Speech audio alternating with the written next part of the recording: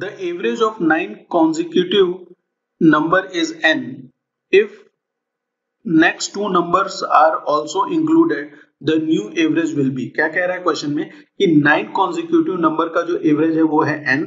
अगर नेक्स्ट दो नंबर दो नंबर और अगले अगर ऐड कर लिए जाए तो न्यू एवरेज क्या होगा, वो हमसे क्वेश्चन में पूछ रहा है।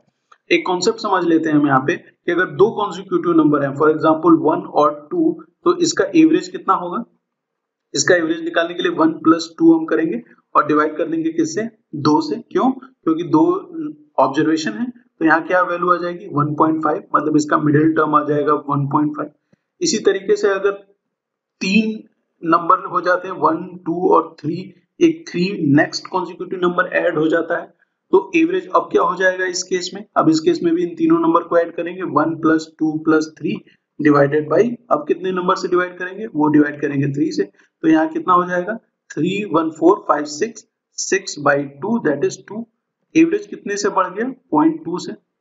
पॉइंट फाइव से सॉरी ठीक है? इसी तरीके से एक नंबर और ऐड कर लेते हैं। वन टू थ्री और फोर ठीक है? अब इसका अगर एवरेज फाइंड आउट करते हैं तो कितना होगा? One plus two plus three plus four और कितने से डिवाइड करेंगे? फोर से डिवाइड करेंगे, क्योंकि नंबर ऑफ़ ऑब्जर्वेशन क्या है? फोर है। तो यहाँ क्या हो जाएगा? Four plus three seven, eight nine और one ten. Ten by four कितना आ जाएगा? ये हो जाएगा आपका टू पॉइंट फाइव। अब एवरेज कितने से बढ़ गया? अब ये टू से टू पॉइंट फाइव हो गया एक नंबर इंक्लूड करने से तो फिर कितने से बढ़ गया? पॉइंट फाइव से बढ़ गया। इट मींस एक कॉन्सिक्यूटिव नंबर जब इंक्लूड होता है तो एवरेज कितने से बढ़ता है? पॉइंट फाइव से। और ऐसे ही इस क्वेश्चन में कितने नंबर इंक्लूड करने के लिए बोल रहा है? दो।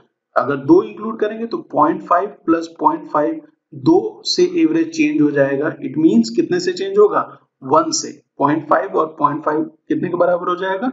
One it means option four average increase कर जाएगा किससे? वन से।